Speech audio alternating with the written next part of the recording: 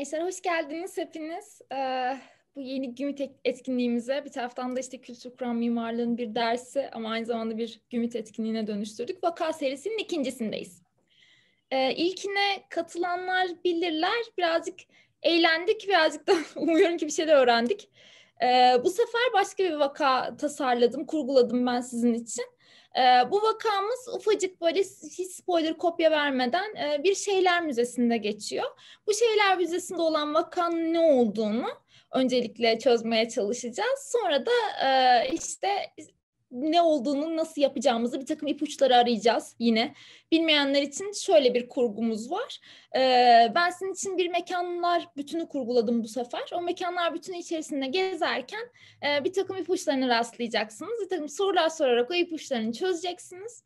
Ee, ve ipuçları nihayetinde de vakayı bir çözüme ulaştıracağız diye düşünüyorum. Ee, şimdi oyunun kurallarını açıklayacağım yine e, daha önce oynamamış olanlar için. Yine zilimle geldim bu sefer de. Şimdi gençler, oynamamış olanlar için. Şimdi bu iş nasıl oluyor? Şöyle yapıyoruz. Ben size bir takım önce bir görseller açarak başlıyorum. Sonra da bir açıklama yapıyorum, ufak bir açıklama.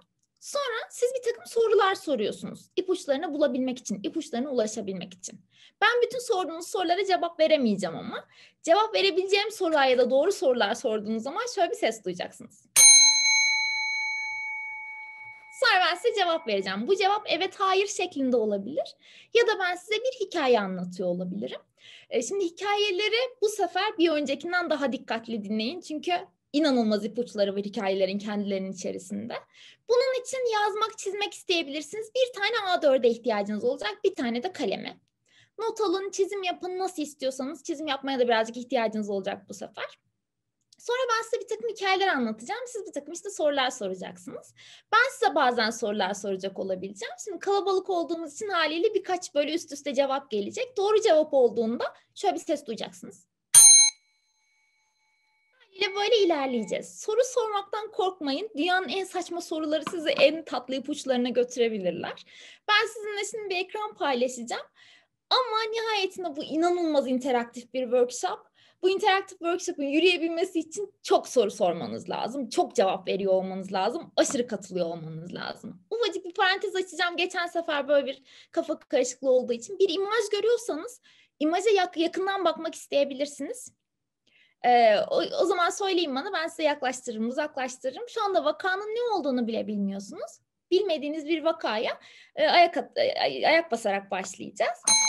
Ay kendi kendime evetledim. Tamam. Ee, şimdi bilmediğim bir vakayı, bilmediğiniz bir vakaya e, ayak basarak başlayacağız. Seslerinizi açabilirsiniz arkadaşlar. Evet. Seslerinizi açabilirsiniz. Bence de sesinizi açın. Geçen sefer şöyle bir şey keşfetmiştik. Sesiniz kapalıyken shift'e basarak da konuşabilirsiniz. Hemen size. Space hocam. Space'e basalım. Evet. evet geçen sefer shift demişim meğerse. İnanamıyorum. İnanamıyorum gerçekten. E, Space'e basarak konuşabilirsiniz. Arkada bir gürültü varsa ve işte duyulmasını istemiyorsanız. Ama lütfen konuşun. Olur mu?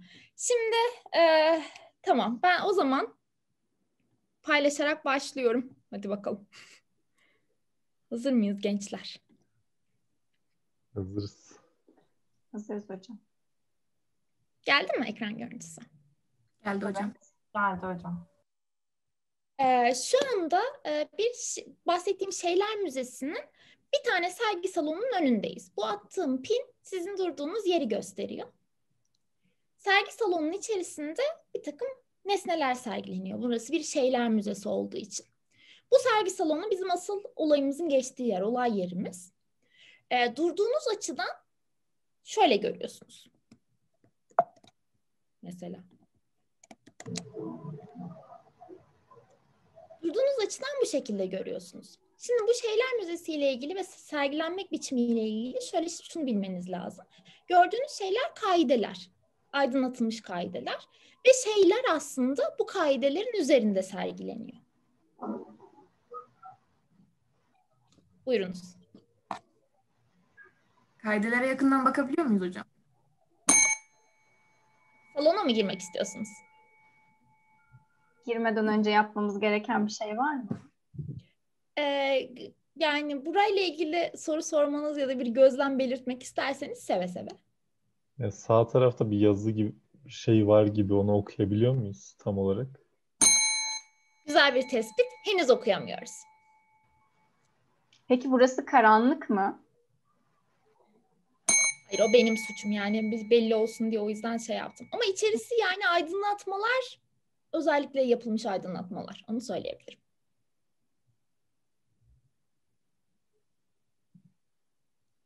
Soldaki masayı soldaki masanın sandalyenin bir önemi var mı? Biraz var.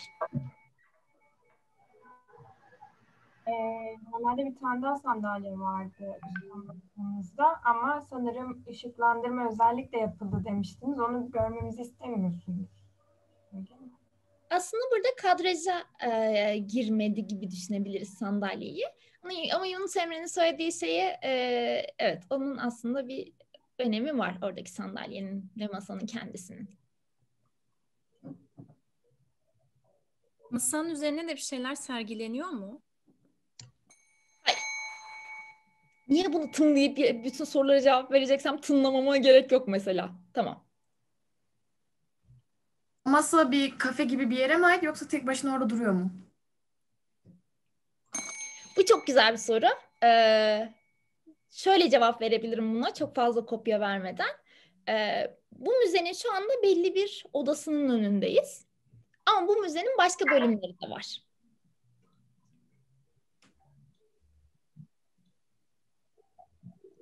Masanın şu anki sergiyle alakası var mı? Evet. Not alıyor bence not alın. İçeri girelim mi? Olur hocam. Hadi girelim.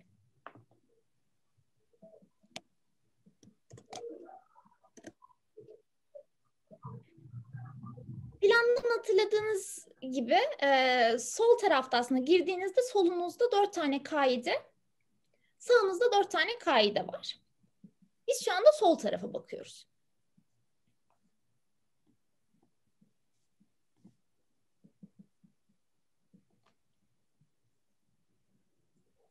Burada sergilenen şeylerin bizim için bir önemi var mı? Çok. Bunlara yakından bakabiliyor muyuz? Çizimler falan hocam. Hangisinden başlamak istersiniz? Çaydanlık çiziminden. Çaydanlık mı o? Çaydanlık o. Şimdi ilk hikayemize geldik gençler. Ee, bu çaydanlık aslında Walter Gropius tarafından 1969 yılında TAC için tasarlanmıştır. Bir Alman firması olan Rosenthal tarafından, bir porselen firması olan bir Rosenthal tarafından üretiliyor. Şimdi bunun hikayesini anlayabilmek için aslında birazcık Walter Gropius'un hikayesini anlamamız lazım. Walter Gropius kimdir? Bilen var mı aramızda? Çağdaş sağ olsun. Biliyoruz. Walter Gropius'un hikayesini bilenler ve bilmeyenler için şöyle anlatabilirim. Ee, Walter Gropius Alman bir mimar ve Bauhaus okulunun kurucusu. Şimdi Bauhaus okulu nedir? Birazcık da bununla ilgili bir hikayem var size. Bauhaus okulu aslında 1919'da kuruluyor Almanya'da. 1933 yılına kadar, 32 yılına kadar hatta 32 yılının sonuna kadar faaliyet gösteriyor. 1925'e kadar Almanya'nın e, Weimar kentinde kapatıldığı yıl olan 1932'ye kadar da Dessau'da faaliyet gösteriyor. Bauhaus'un kapatılma hikayesi aslında açılma hikayesi kadar e, önemlidir gençler. Nazi Partisi tarafından kapatılıyor. Biliyorsunuz yani tam bir İkinci Dünya Savaşı öncesi Hitler ve Nazi Partisi yükseliyor. Bauhaus 1932'de Nazi Partisi'nin e, şeyleri sonucu, baskıları sonucu kapatılıyor. Şimdi Gropius aslında Gropius'un neden Bauhaus için bu kadar önemli bir figür? Neden Bauhaus dediğimiz şey Gropius'la beraber anılıyor? Bunu anlayabilmek için de şöyle bir şey bilgi verebilirim size. Bugün Google'a girip baktığınız zaman Bauhaus ve Gropius yazdığınız zaman Gropius Bauhaus'un babalarından biri olarak bilinir. Bauhaus okulunun ilk dekanıdır. Dekan dediğimiz şey. Başkanı o dönem tabii ki dekan ismi yok ama ilk başkanıdır. Ee, Bauhaus'un da şöyle bir şey var yani mimariden mobilyaya, gündelik eşyalardan tekstile böyle bir sürü ikonik tasarımı var. Hem Gropius'un hem de Bauhaus'un atölyeleri var. Sadece mimarlık atölyeleri yok mesela. İşte tekstil atölyeleri de var, mobilya atölyeleri de var, ahşap atölyeleri var, metal atölyeleri var. Haliyle gündelik hayata dokunan her şeyi tasarlamak üzerine kuruluyor Bauhaus. İnanılmaz bir şeyle e, böyle bir e, iddia ile geliyor. Modernizmle beraber gündelik hayatın tamamını kurgulamak meselesini dert ediniyorlar kendilerine. Peki Gropius'un hikayesi nerede bitiyor? Bauhaus kapatıldıktan sonra Gropius aslında daha erken yıllarda ayrılıyor. 1929'da ayrılıyor Bauhaus'tan ama Bauhaus kapatıldıktan sonra Amerika'ya göç ediyor. İkinci Dünya Savaşı'nın hemen öncesinde sığınma talep ediyor Amerika'dan ve Amerika'ya göç ediyor.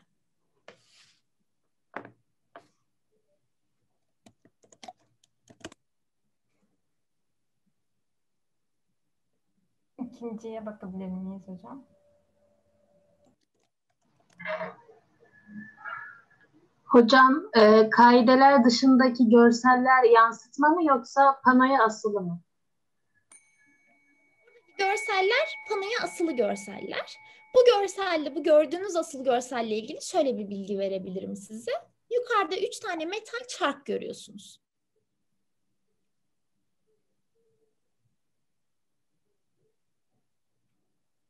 Peki kaidenin üstünde bir şey var. Ona bakabiliyor muyuz? Yakınlaşıp. Kaydenin üzerinde bir yuvarlak var. Özellikle ışığın merkezinin vurduğu ama boş. Alınmış mı bu? Evet. Bekledim. dramatik.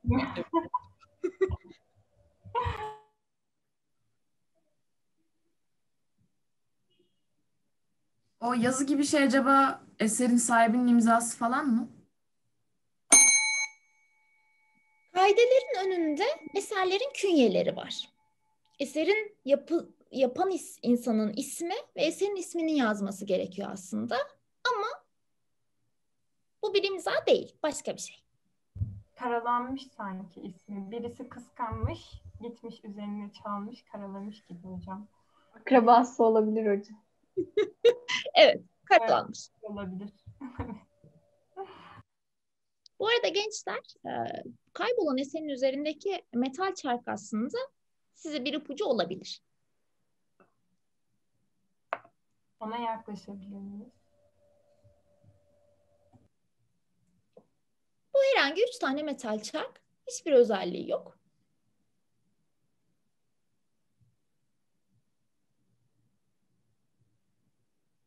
Çalınan eser bu çarkların bir parçası mıydı? Bu çarklar sayesinde hareket eden bir şey miydi acaba?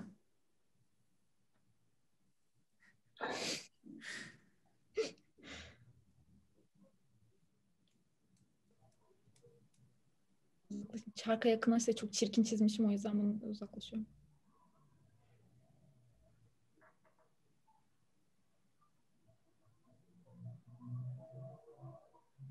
Diğerine geçebilir miyiz? Tamam. Bir şey çıkartabiliriz.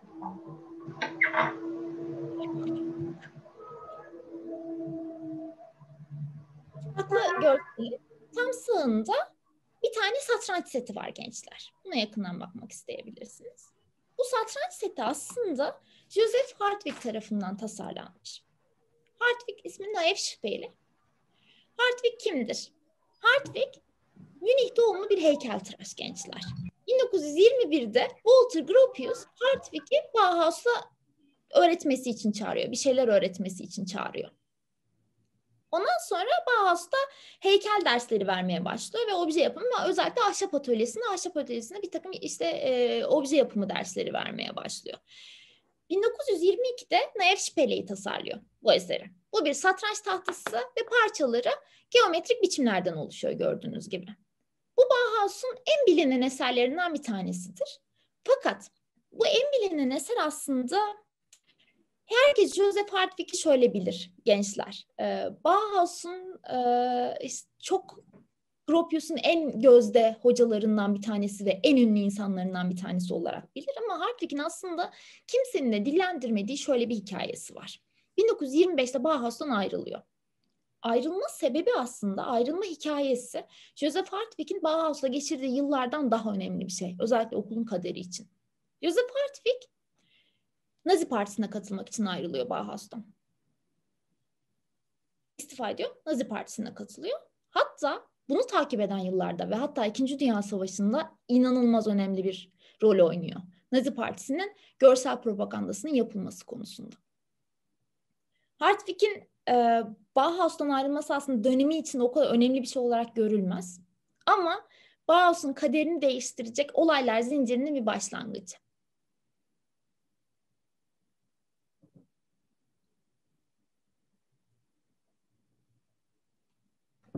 Ee, Dört kaidenin ikisinde o beyaz şerit ve karalanmış yazı vardı ama bunda ve ilkinde yoktu. Bu bir ipucu mu?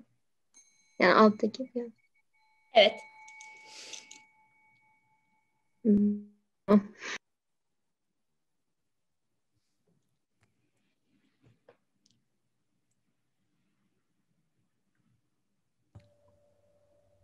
Devam edelim mi? Olur hocam.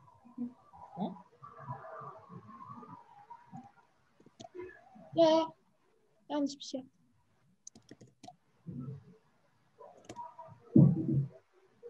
Bunun sağında bu kaideyi görüyoruz. Kopya veremedim. Yukarıdaki eser mi yoksa çizim değil mi hocam? Yukarıdaki bir obje. Obje.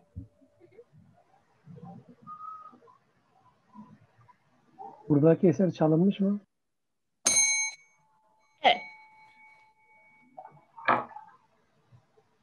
Yine uyarıyorum. Yukarıdaki objenin aslında bir ipucu olduğunu unutmayın. Bunların sayısı çark da üç taneydi, uçak da üç tane. Bize bir ipucu veriyor mu? Özel bir şey değil. Bunlar birer e, savaş ipuçları olabilir mi? Uçak, santranç, çark ya da iki karşıt görüş olarak. Buna çok tınlamak istiyorum ama, zil çalmak istiyorum ama çok güzel bir bakma biçimi, e, çok işe yarayacak bir bakma biçimi. Ama e, buradaki ipucu aslında başka bir ipucu. Çok kopya verdim.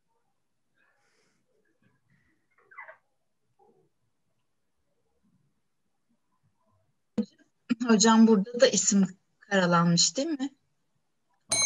Evet. Diğer e, ka- kaidede isim yoktu. O çalınmış bir isim mi? Yani o etiketi mi çalmışlar?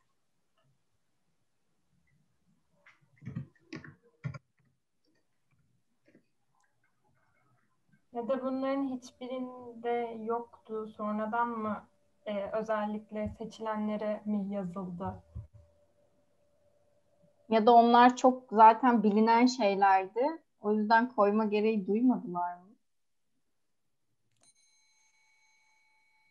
Bu çok önemli bir bakma biçimi. Buna evet diyemeyeceğim ama çok çok çok önemli bir bakma biçimi. Güzel bir yer yakaladınız. Kendi kendime bir ipucu daha vereyim. Bu, bu yukarıda asılı şeyin ne olduğunu çö- çözebildiniz mi gençler? Ee, şey aslında çocukların uyurken başında asılı duran oyuncak e, dönen şeye benziyor. Onun yerine uçaklar. Evet. Bu bir oyuncak.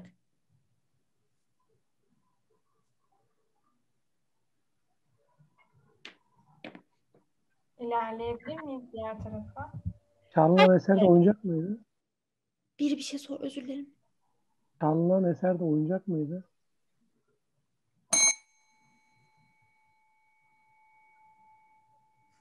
Buna şu anda cevap veremeyeceğim ama doğru bir bakma biçimi.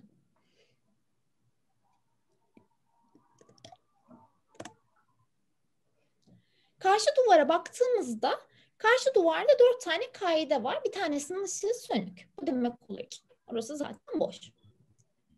Ee, yan yana üç tane kaide görüyoruz. Sağ tarafımızdaki duvarda.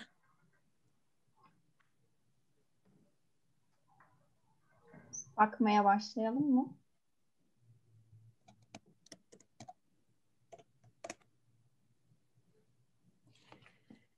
Burada gördüğünüz gençler bir kumaş parçası. Herhangi bir kumaş parçası gibi görünüyor ama bu çok önemli bir kumaş parçası. Johan Itten tarafından tasarlanmış. Johan Itten İsviçre doğumlu e, bir ressam aslında. E, Bauhaus kurulurken 1919 yılında tabii ki Gropius tarafından e, Bauhaus'a öğretmen olması için, öğretici olması için davet ediliyor. Sonra geliyor ve tekstil atölyesinin, Bauhaus'taki tekstil atölyesinin başına geçiyor. E, tekstil atölyesinin başkanı olarak 1925'e kadar e, çalışıyor. E, Hartwig'le aynı sebeplerden ayrılıyor. Bauhaus'tan. Aynı yıl. Fakat e, Johann Hitte'nin pek çok tekstili vardır bilinen ve hatta işte Renklerin Sanatı isimli bir kitabı vardır ve çok bahseder böyle tekstil yapımından ve işte desen üretmek biçimlerinden. Çok bilindik bir kitaptır ama tekstillerine isim koymaz. E, Gropius'un en gözde tasarımcılarından bir tanesi olarak bilinir Itten.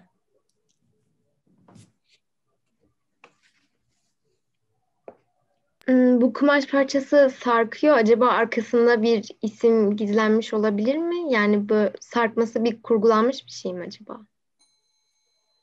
Sarkması kurgulanmış bir şey. Konuyla alakası olmayabilir de e, o da mı şeye katılmış Nazi Partisi'ne? Orayı kaçırdım. Evet, yani Hartwig kadar etkin değil ama aynı sebeplerden ayrılıyorlar. Anladım. Bu kumaşın sarkma biçiminin aslında e, Gropius'un tasarladığı demliğin durma biçimiyle bir alakası var.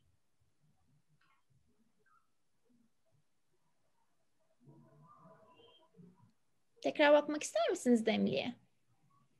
Evet hocam. Evet.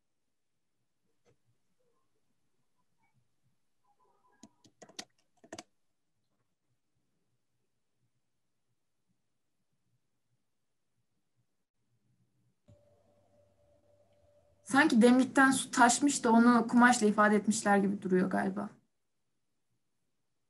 İkisi de düşecek gibi duruyor.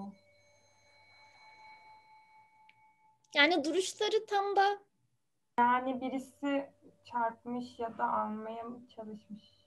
Nasıl olmuş? Yukarıda çaydanlıkların e, gelişimi yani tarih olarak e, tasarım aşaması verilmiş. Diğer kumaşın durma biçimi de bir saat soyutlaması vardı. Zaman soyutlaması böyle akıyor gibi. Aynı o şekilde duruyor.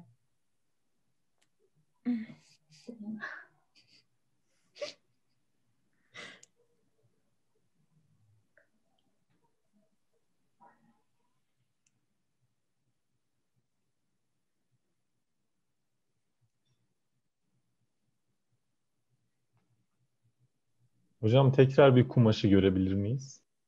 Şey sen kumaş aşağıya düşecek de bu çaydanlık onu tutuyormuş gibi. Çünkü aynı yani kumaşın böyle masada kalan kısmı aslında çaydanlığın bu tarafına doğru gibi gibi. aslında e, bu kopyayı size ve- vermeliyim belki şu anda. Aslında bu duruşla alakalı biraz önce e, kumaşın duruşuyla alakalı gelişi güzellikle ilgili bir şey keşfettiniz. Bu gelişi güzel duruş burada çaydanlığın değil de başka bir şeyde de aynı gelişi güzelliği görüyoruz sanki. Dumanıyla, gölgesiyle falan. Çizimi nasıl şey? Çizim Arkadaki çizim mi?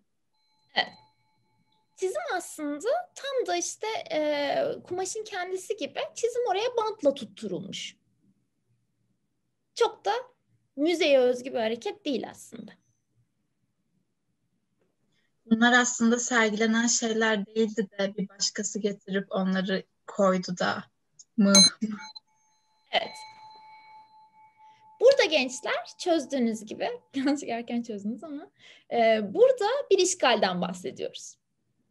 Bazı objeler bu salondan alınmış, bazı objeler bu salona yerleştirilmiş ve bir takım çok da müzeye yakışmayan işte isim karalamak gibi bir takım hareketler görüyoruz. Bu şeyle eşdeğer mi? O zaman Almanya'nın Nazi işte savaş zamanı orada olmayanların orada olması veya oraya ait olanların artık orada olmaması gibi.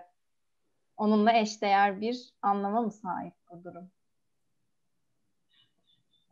Hocam peki şey olabilir mi? Normalde hani e, geometrik formları kullanıyorlar ya ama bu çaydanlık geometrik forma çok uymuyor mesela hani. Acaba o uymayanlarla değiştirme olabilir mi? Yani kumaş da çok uymuyor zaten forma.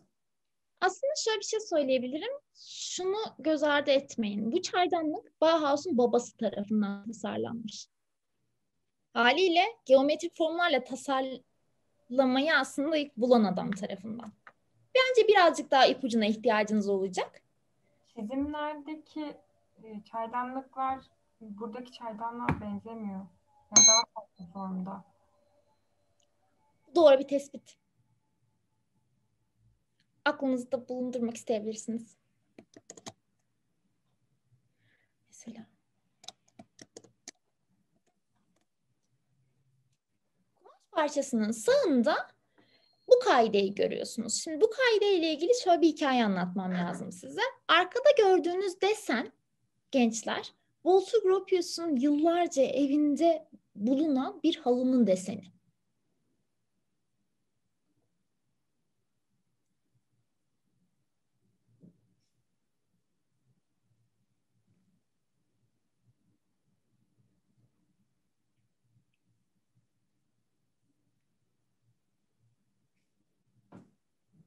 Hocam bir hırsızlık olayı var mı işin içinde mesela?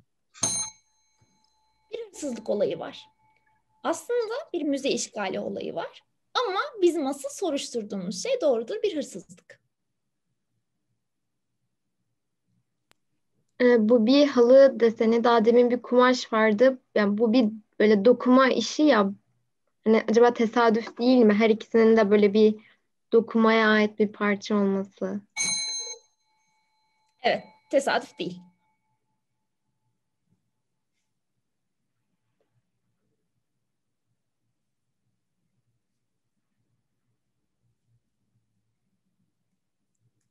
Hocam bu halı deseni e, kumaşı tasarlayan insan tarafından tasarlanmış olabilir mi? Hayır, iten tarafından tasarlanmamış bu desen. Ya yanlış görüyor olabilirim ama bunun altındaki karalama diğerlerinden farklı mı? Yanlış hatırlıyor da olabilirim. Aslında aynı. Tamam. Bu desen hep vardı bu müzede değil mi? Yeni gelen işgalciler tarafından yapılmadı yani. Hayır. Bu desendeki ritimli o desende bir şeyler anlatmaya çalışılıyor mu yoksa öylesine çizilmiş bir şey mi? Bu desen aslında gençler Bauhaus'un en ikonik desenidir. En ikonik desenidir. Bauhaus ve desen yazdığınız zaman ya da tekstil yazdığınız zaman ilk karşınıza çıkacak desen budur. Bu soruyla ilgili bunu söyleyebilirim. Şu an bizim makamımızla doğrudan ipucu değil ama. Değil mi hocam? Bence bir ipucu. Yerine geçebilir miyiz? Tabii ki.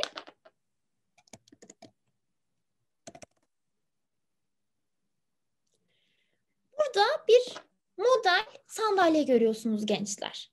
Tam da kendisine ayrılan yerde duran bir sandalye. O beyaz şeyin e, yuvarlağın ortasında. E, bu sandalyenin çok enteresan bir hikayesi var. Bu sandalyeyi Ludwig Mies van der Rohe tarafından tasarlandığı söylenir bu sandalyenin.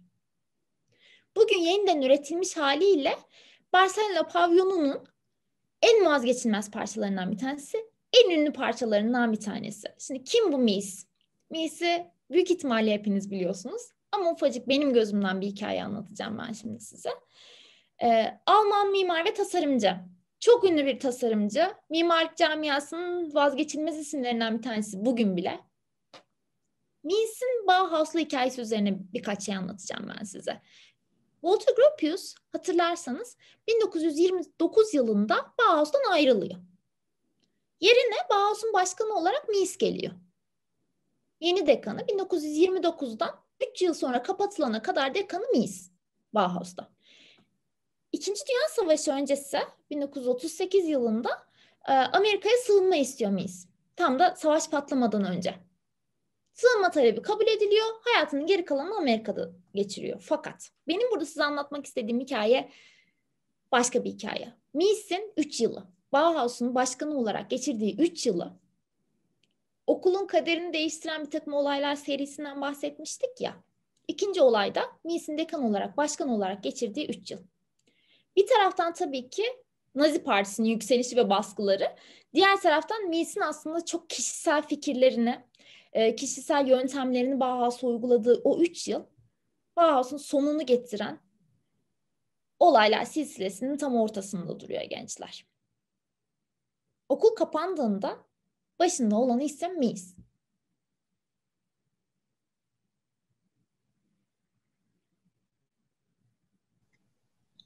Hocam isme yaklaşabiliyor muyuz? Duyamadım. Yaklaşmak mı istediniz? Evet, isme doğru. Hocam künyede farklı bir isim mi yazıyor? Yani farklı yazıyormuş ama sonra silip burayı karalamışlar ve yeni bir isim. Evet. İşgal edenler tarafından mı yazılmış? Evet.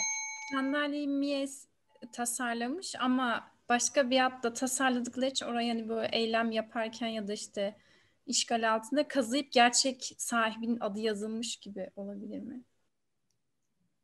Tam olarak böyle bir dertle yapılmış. Evet. Ay özür dilerim. Yani Peki arkadaki çizimler de aslında bunu bir nevi kanıtlamak için asılan çizimler mi? Hem çaydanlıktaki hem bundaki eskizleri sergilemek.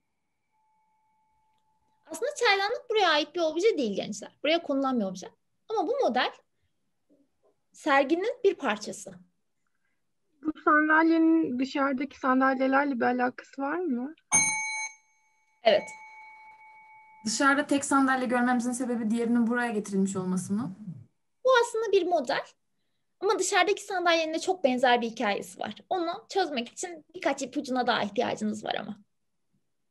Dışarıda iki tane sandalye vardı ve aslında burada da bir tane sandalye var. Yani iki tane aslında kurucusu var gibi Bauhaus'un. Bunlardan biri sergilenir ve göz önünde bulundurulurken diğer aslında arka planda kalıyor.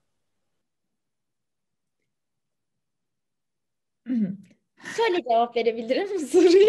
Şöyle cevap verebilirim. Aslında Bauhaus'un iki yöneticisi var ama farklı yıllar diliminde. Aslında Bauhaus'un asıl kurucusu Gropius. Hep öyleydi. Sonra yönetim değişen Gropius ayrıldıktan sonra Mies geliyor. Fakat e, şimdi burada aslında gördüğünüz objelerin ortak bir özelliği var. Sandalyede keşfettiğiniz şey bence de onunla alakalı. Peki bu sandalyeyi tasarlayan ve ismi silinen kadın galiba. Çünkü Lille gibi bir şey okunuyor.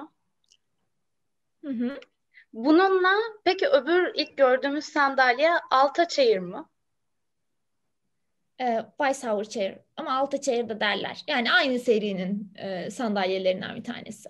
Peki onu e, kadın bir tasarımcı tasarlamış olabilir mi? Yani bunun kadınlarla bir alakası olabilir mi hani bu isim silinme olayına? Bence doğru bir yolda olabilirsiniz şu anda. Doğru bir yolda olabilirsiniz. Aynı kadını seviyorlarmış. Çok entrikaya doğru gidiyor. Ee, bunun evet kadınlarla bir ilgisi olabilir gençler. Çok bir ilgisi olabilir. Ee, şimdi bununla alakalı şöyle bir şey söylemek lazım. Aslında burada gördüğünüz şeyler e, sergiden alınan objeleri bulup yerine koymak. Bizim dedektifler olarak görevimiz bugün bu objeleri bulup yerlerine koymak. Bunları müzenin içinde mi arayacağız? Evet. O zaman müzeyi biraz daha gezebilir miyiz? Size müze, müzenin bir krokisini gösterebilirim.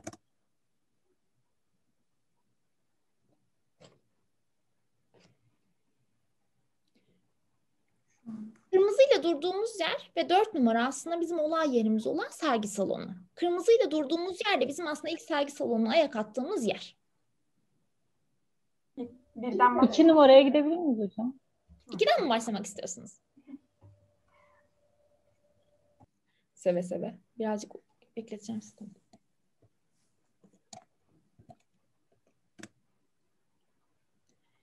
İki numara aşağıda da yazdığı gibi bir çocuk oyun alanı. E, bu atın arkasında bir şey mi var hocam? Evet. Bir zarf var atın arkasında.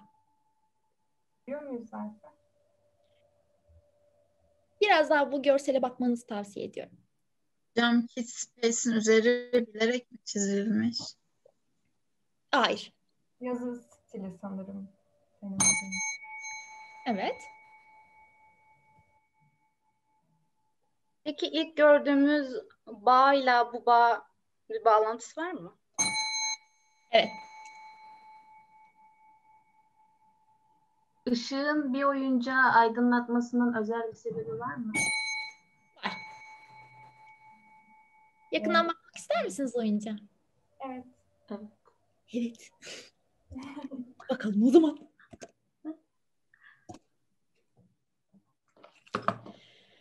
Gençler, bu oyuncak e, Bauhaus'un en ünlü eserlerinden bir tanesi. En ünlü objelerinden bir tanesi. Alman Seidhof Busche tarafından yapılıyor. Bir kadın tasarımcı, bir Alman tasarımcı. 1922'de Bauhaus'a katılıyor bu kadıncağız. Fakat katıldığı zaman bir derdi var bu kadıncağızın. Obje yapmak istiyor. Ama Gropius'un şimdi katılmasına bir olayını anlatmamız lazım aslında. Nasıl katılıyor? Bauhaus 1919'da açıldığı zaman Almanya'da kadınlar üniversiteye gidemiyor gençler. Fakat Gropius şöyle bir ilanda bulunuyor. Diyor ki burası karma bir üniversite olacak. Kadınlar da burada eğitim alabilir diyor. İlk yıl 1919'da açıldığı zaman erkek sayısının iki katı kadar kadın başvuruyor Bauhaus'a. Ve alınmaya başlıyorlar. Yıllar içerisinde bir sürü kadın alınıyor, bir sürü kadın mezun ediyor Bauhaus. Bu şeyde, bu kadıncağız da, bu tasarımcı da 1922'de geliyor. Fakat Gropius'un şöyle bir bakmak biçimi var. Diyor ki, kadınlar diyor üç boyutlu tasarımlar yapmakta çok yetenekli değiller diyor. Biz kadınları alır, alırız diyor, alabiliriz diyor. Ama diyor tekstil atölyesine yerleştiririz diyor kadınlar gelebilirler bu dersleri alabilirler ama yani Gropius'un görüş, görüşüne göre tekstil atölyesinde daha başarılı olurlar. Çünkü üç boyutlu e, objeler üretemezler kadınlar. 1922'de Bush'e geliyor ya Bauhaus'a. Bir yıllık çaba ve ikna sürecinden sonra ahşap atölyesine geçmek iznini alıyor sonunda. Gropius'tan. Ahşap atölyesine geçiyor. Geçtiği yılda bu oyuncağı tasarlamaya başlıyor. Bu oyuncak nedir? Bu oyuncağa Bauhaus Bauspiel derler diyorlar. 1923'te tasarlanıyor. İlk tasarlandı, e, Boucher'in ilk tasarladığı oyuncaklardan bir tanesi. E, 32 tane renkli parçadan oluşuyor bloktan. Bu bloklar geometrik bloklar ve istediğinizi yapabiliyorsunuz bu bloklarla. Sınırsız özgürlük veriyor çocuğa. Ee, ne, bu Bauhaus'un miras eserlerinden bir tanesi fakat Gropius bunu yeterince estetik bulmadığı için seri üretime geçmiyor. Tek bir tane var. Bu e, dağıtılıp oynanılan bir oyuncak değil ne yazık ki. Tek bir tane var. Haliyle seri üretime geçmiyor. İşte bu şeyin e, ismi çok duyulamıyor. 1929'da baskılara dayanamayıp 1929 yılında baskılara dayanamadığı için Bauhaus'tan ayrılıyor. Bauhaus'tan ayrılmadan önce bir sene kadar mesela çok özür dilerim gençler. Bauhaus'tan ayrılmadan e, bir sene kadar önce ne anlattım unuttum. Özür dilerim. Heh. 1929'da Bauhaus'tan ayrılıyor. Bauhaus'tan inanılmaz böyle baskılar sonucu ayrılıyor. Bir sene kadar önce Ahşap Atölyesi'nin başkanı olacakken, olmaya çalışırken e, bu şeyi ünvanı alamıyor. 1929'da baskılar sonucu Bauhaus'ta ayrılıyor ve sürgüne sürgünde geçen bir 15 yıldan sonra e, İkinci Dünya Savaşı'nın tam e, cafcaflı zamanlarında 1944'te bir bombardıman sırasında ölüyor. Yaptığı oyuncaklardan geriye tek kalan bu oyuncak. Tek bir tane oyuncak. Bu da seri üretimde değil. Bir tane obje geri kalıyor. Hocam bu oyuncağa sağ taraftakine tekrar bakabilir miyiz? Aynı değiller sanki. Önündeki iki objeyi orada göremedim. O bir künye olduğu için gençler. Bu aslında çok boyutlu bir oyuncak. Bu 32 tane objeden istediğinizi yapabilirsiniz.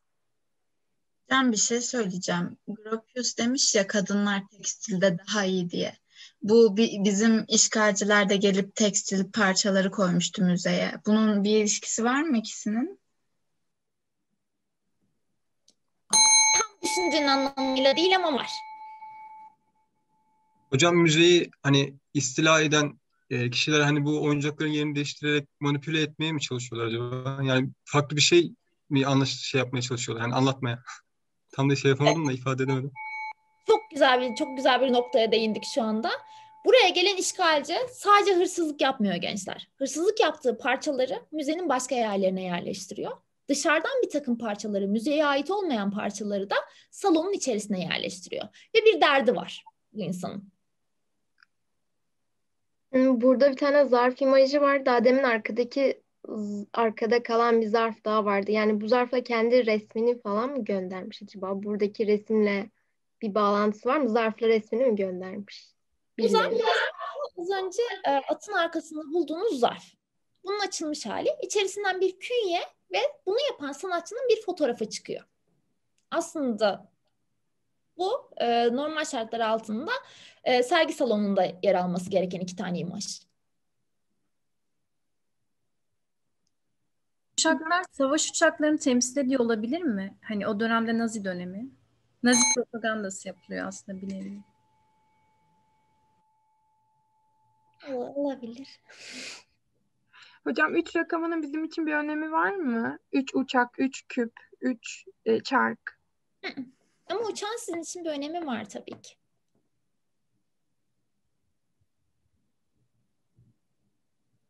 Peki buradaki gemi, uçak hani böyle hep savaşı anlatan şeyler ya. Bu onun altında mı olması gerekiyordu? Yani aslında burada çalınıp ve künyesi falan da yok bunun önünde. Evet. Aslında yerini buldunuz. Bu uçağın oyuncak uçağın altında, e, bunun yeri oyuncak uçağın altı.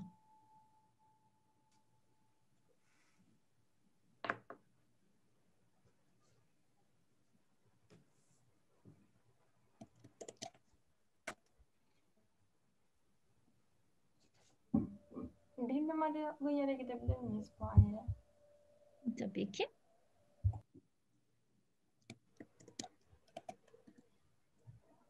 Hemen doğru slide açıyorum. Şu anda fuayedeyiz. E, fuayeyi bilirsiniz. E, bir takım eğer ki üstünüzü başınızı bırakmak isterseniz e, ya da işte biletinizi okutmak, almak isterseniz onun için kullanılan bir yer. Sergi, herhangi bir sergi fuayesi. En sondaki asılan askıdaki şey diğer desenli kumaşla bir alakası var mı? Ve arkasında bir zarf var. Ay Hocam öğrendiğiniz bunları şey mi yapmışlar? Olması gerektiği yer aslında burası gibi bir mantığa mı bürünmüşler? Çünkü çocuk yani oyuncağı çocuk alanına bu kumaş parçasını şeyin oraya falan koymuşlar. Askıya. daha fazla tın yapamam. Tamam.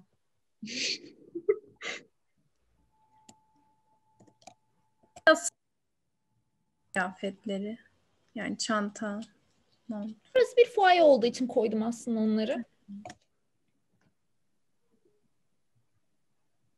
Bu tekstil parçasının nasıl arkasında e, bir tane zarf buluyorsunuz. Yine içerisinde bir künye var. Bu objenin ne olduğunu anlatıyor. Bu parça e, Gunta Stözel isimli bir kadın tarafından tasarlanmış ve yine Bauhaus'un simgesi olan pek çok desenden bir tanesi. Şimdi kim bu kadıncağız? Gunta Alman bir tekstil sanatçısı. Çok inanılmaz e, başarılı ve ikonik işlere imza atmıştır. 1919 yılında bazı kaydolan ilk kadınlardan bir tanesi gençler Gunta. Ee, 1919 yılında gelir gelmez e, başka kadın e, meslektaşlarının aksine Gunta Stöz'ün yapmaya çalıştığı şey tekstile, tekstil atölyesinde olmak. Seviyor desen üretmeyi. En ikonik tasarımı nedir biliyor musunuz Gunta Stözel'in? Bir halı. Bu halı ölene kadar Walter Gropius'un evinde kullandığı halıdır. En ikonik tasarımlarından bir tanesidir. Ne yazık ki bu halıyı Walter Gropius'un kendisinin tasarladığı zannedilir. Fakat Gunta Stözel'e aittir halının tasarımı ve deseni. Ee, şimdi Stözel'in hayat hikayesi çok enteresan gençler. Ee, 1925'te İtten'i hatırladınız mı öbür tekstilin sahibi? 1925'te ayrılıyor Bauhaus'tan. 1925'te Gunta Stözel diyor ki mezun olmuş. Ben tekstil atölyesinin başına geçmek istiyorum diyor. Kabul etmiyorlar. İki yıllık uğraştan sonra 1927 yılında başkanlığa getiriliyor. Ama tekstil atölyesinin başkanlığının ismi değiştiriliyor. Master yerine Junior Master diyorlar.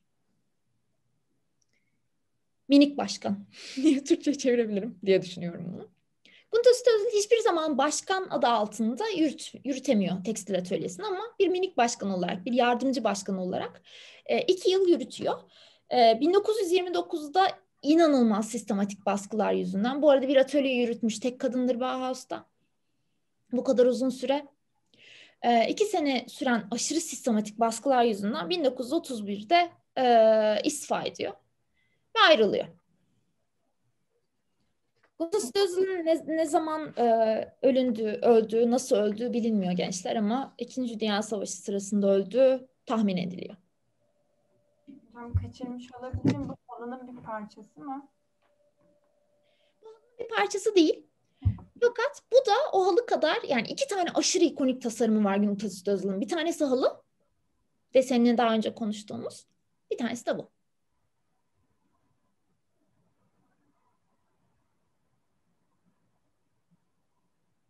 Hocam buraya giren isyancılar bu herhalde kadın haklarından dolayı mı acaba bunu yapıyor? Bunu Bauhaus'ta böyle küçük görülen kadınların eserlerinin mi göz önüne çıkmasını istiyorlar? Bunun kadınlarla ilgisi var bu işgalin. Aslında çok göz önüne çıkmasını istememişler gibi. Çalıp başka yerlere yani kadınların yaptıklarını başka yerlere koymuşlar. Yani tam tersi. Anneye daha fazla tım yapamayacağım. Evet doğru. Ben çözdüm hocam. Çözdüm. Ama hala da bence bulmamız gereken objelerimiz var.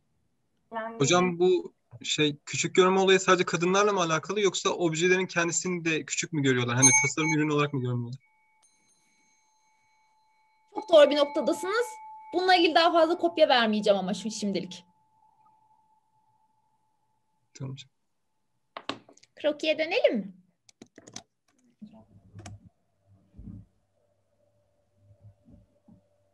Hocam üç numaralıya gidelim. Kafe. Gidelim.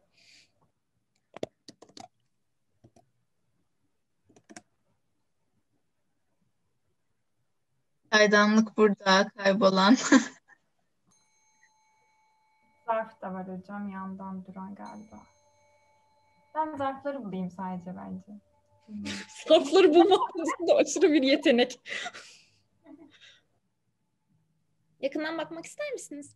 Çaydanlık ezilmiş, büzülmüş gibi mi hocam yoksa şekli mi böyle? Öyle dedin. Yazık. Çok önemli çaydanlık oldu. Doğru. Dindeki çaydanlıklara benziyor hocam. Müzeden çalınan çaydanlık burada işte. Evet burada. Tam olarak burada.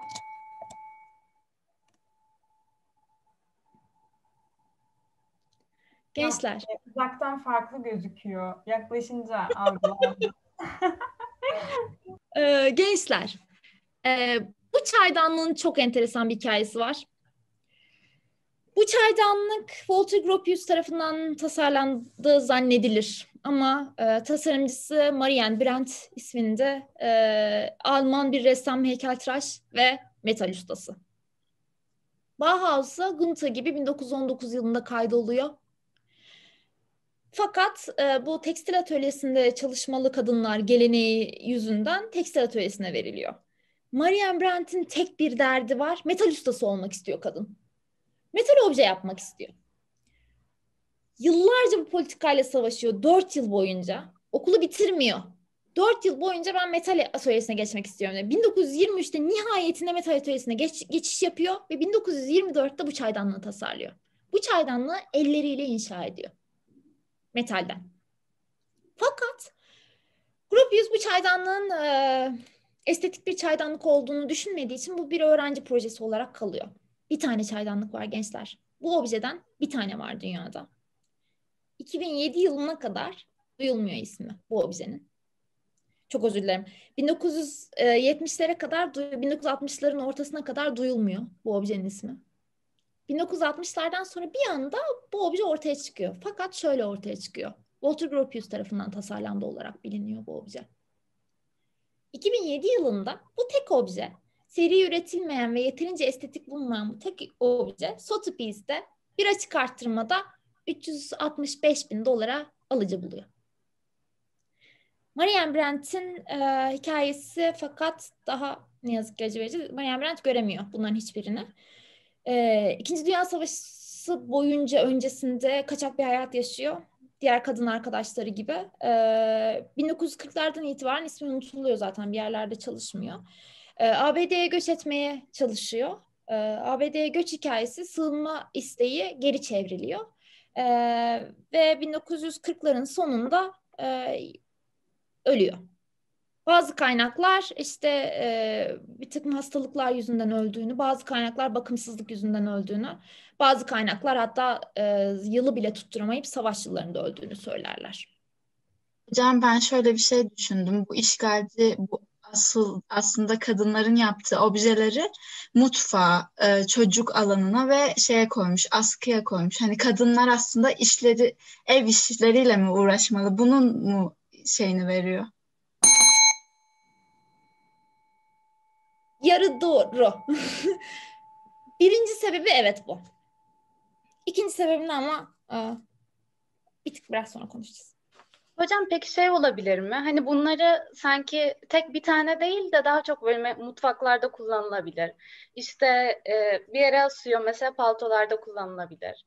E, öbürünü çocukların yani aslında seri üretime geçirilmiş objeler şeklinde sergilemeye çalışıyorlar. Şimdi size bir yan hikaye anlatacağım parantez içerisinde. Gençler, objeleri bilmek için, objelerin hikayelerini bilmek için objeler nasıl tasarlanır onu bilmek lazım. Bu objelerin tamamı aslında endüstriyel tasarım objeleri. Haliyle kullanılmak için yapılmışlar. Çok doğal olarak kullanılmak için yapılmışlar. Peki bu objelerin kendilerini sergilenmeye layık yapan ne? Tek olmaları.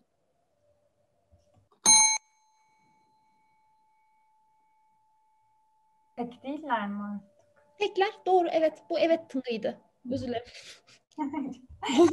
o kadar seviyorum ki zilimi. Bazen cevap vermeyi unutuyorum.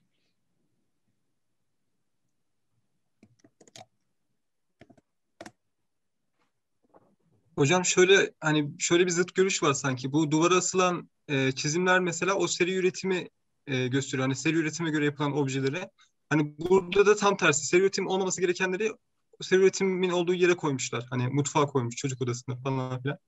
Hani bir zıt görüşlülük var da tam çözemiyorum şeyini. Çok doğru bir noktadayız. Çözeceğiz. Çok az kaldı. Bitirmek üzereyiz zaten. Beş kaldı hocam. Beşe gidebilir miyiz? Tabii ki. Bulabilirsem gideriz.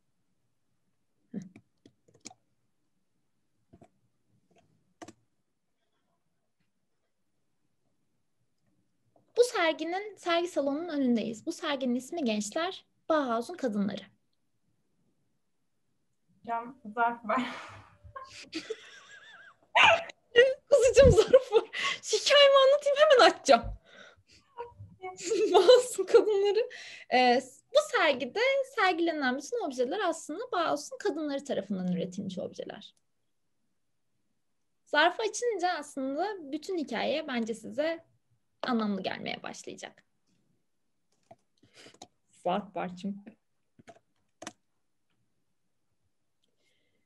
Zarfın içerisinden üç tane görsel çıkıyor gençler. Bu ismi karalanıp Mise'in ismi yazılan kadın mı? Evet. Bu kadın Lili Ray. Lili Ray bu sandalyeyi 1922'de bu gördüğünüz sandalyeyi karalamaya başlar. Mise'in Barcelona çayırı 1924'te tasarlanır.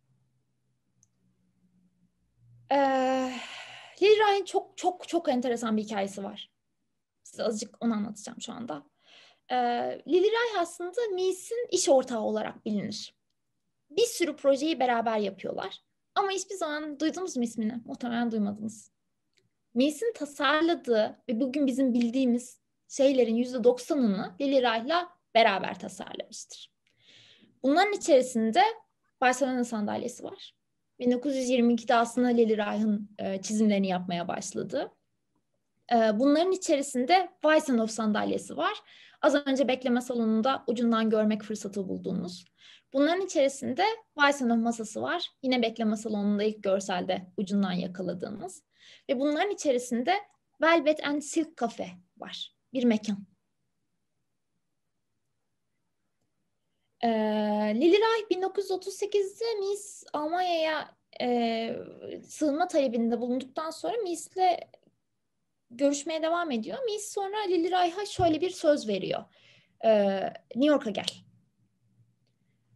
Sonra New York'a gidiyor e, ziyaretçi olarak. Miss'in verdiği söz şöyle bir söz. Burada beraber iş yapacağız ve sana MoMA'da bir sergi aç açtıracağız. Ben MoMA ile konuştum. New York'ta bir sergi açtıracağız. Fakat gittikten sonra Lily Ray Miss'ten hiçbir destek göremiyor. MoMA'ya gidiyor. MoMA'dan reddediliyor. Sergisini yapamıyor. Sonra aynı yıl içerisinde Almanya'ya geri dönmek zorunda kalıyor. Sığınamadığı için. 1947'de ne yazık ki Almanya'da ölüyor. Lily Ray'ın hikayesi aslında bugün bizim çiz gördüğümüz ve çözmeye çalıştığımız gizemin temeli gençler.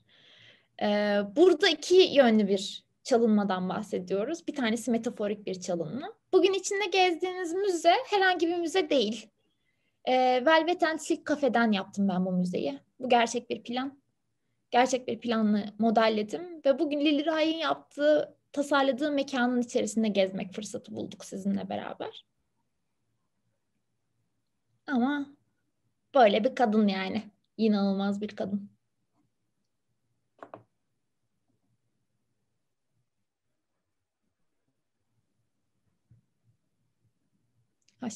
Sonuç, sonuç mu bekliyorsunuz? bir şey çıkarmaya çalışıyoruz ama. Aslında e, bence gizemi çözdünüz. Bir tahmininiz var mı? Ne olmuş burada? Çok ettiniz tahmin ama bir hepsini beraber bir toparlayalım. Birkaç tane tahmin. Objeler ve kadın tasarımcıların sıradanlaştırılmaya ve işte küçültülmeye çalışılma çabası var aslında diyebiliriz. Dert bu. Evet. Kadın, bu kadınların e, tasarladıkları objelerin çıkartılıp günlük delik objeler gibi e, müzenin içerisinde saç serpiştirilmesinin sebebi gerçekten e, bu kadınların aslında hayatları boyunca yaşadıkları hikayenin bir yansıması. İsimlerinin çalınması, hikayelerinin çalınması, tasarımlarının çalınması ve nihayetinde objelerin kendilerinin çalınması hikayesi bu. Bir tanesi bu.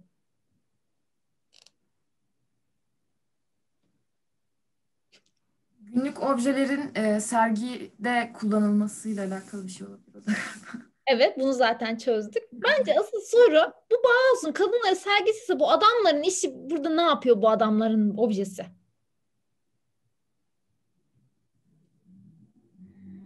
Size şu anda serginin orijinal halini gösteriyorum.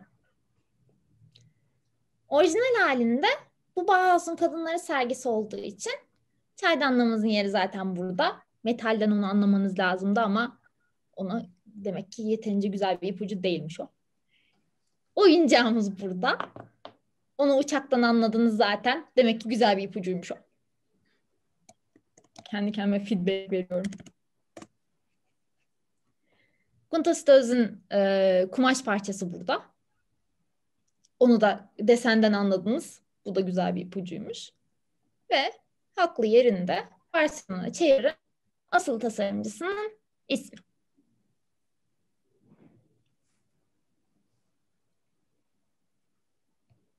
E, bence bu bilinçli yapılmış bir şey mi? Aslında karşı taraf şöyle yani erkekler tarafından değil de daha çarpıcı şekilde kadın tasarımcılar tarafından yapılmış bir şey mi? Daha çok akıllı. Ben bunu aslında işgalci olarak gençler kendimi yazdım. Ee, aslında burada bulmanız gereken e, suçlu benim ya da herhangi bir kadın. İki şekilde yapılabilir bu vandalayla. Ee, birincisi negatifini söylemek.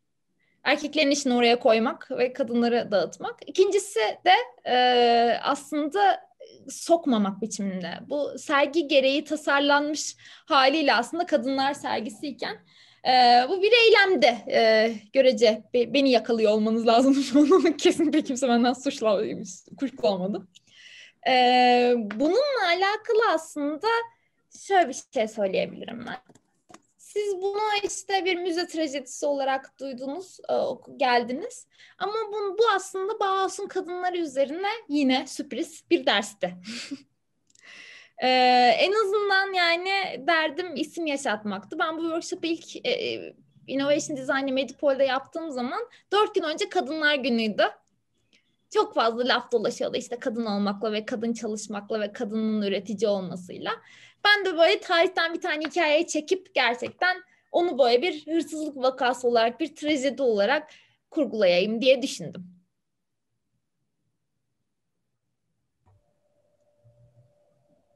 Hocam şu an biz çözdük mü olayı tamamen? Çözdünüz çok güzel. Niye beğenmediniz çözdüğünüz şeyi? Hocam beğendik. O kadar da erken çözdünüz ki. Yani Hande çözdü. Hande çözdüğünü göstermek için üç kere tınlıyorum. Sus Hande. Üç kere daha tınlıyorum bir dur Hande.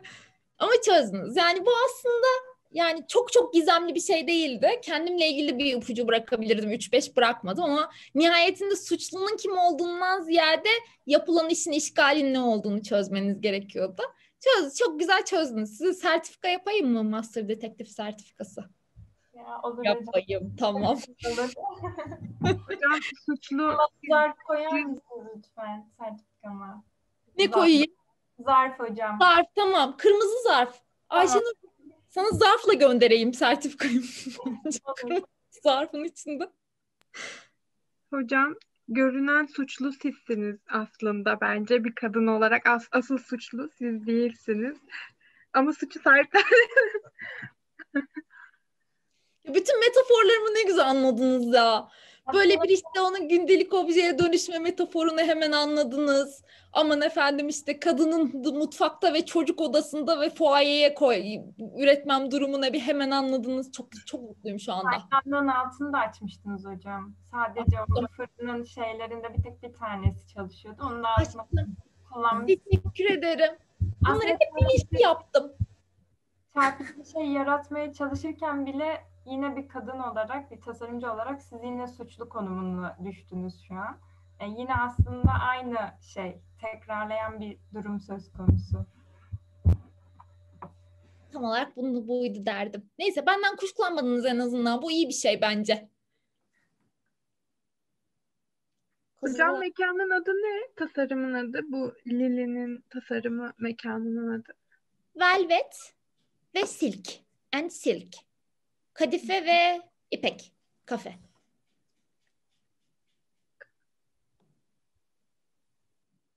Şu notlarınızı bir kaldırın sana ne çizdiniz ekrana. Bir ekran görüntüsü alalım mı?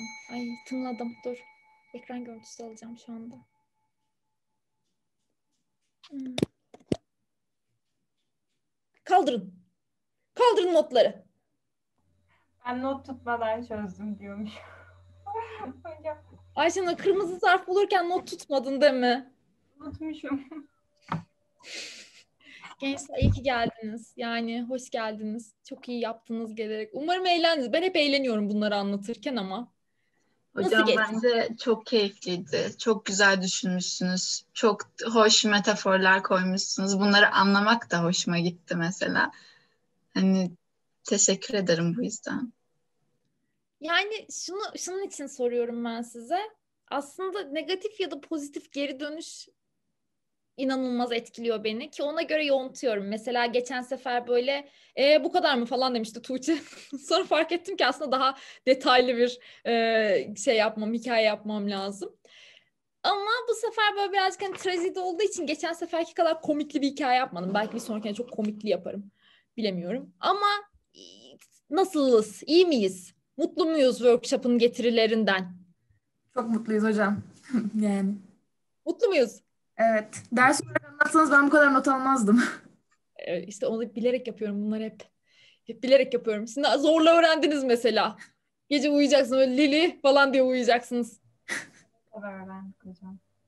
Hocam bir de bu sefer hikayede daha şey, e, anlattığınız hikayeler daha bağlantılıydı. Öncekinde yani o bağlantıyı görebiliyorduk bu sefer ama geçen seferkinde böyle şeyim ben. Kitap, evet o kadar kitap falan öyleydik yani. Geçen sefer biraz daha heyecan vericiydi. Cinayet olduğu için biraz daha aşırı heyecan vericiydi falan ama bu da böyle bir hani tarihten aldığım bir hikaye. Bakalım bulacağız dengesini. Gençler çok teşekkür ederim geldiğiniz için. Vakit ayırdınız. Biz teşekkür ederiz hocam. Teşekkür Çok eğlendim ben.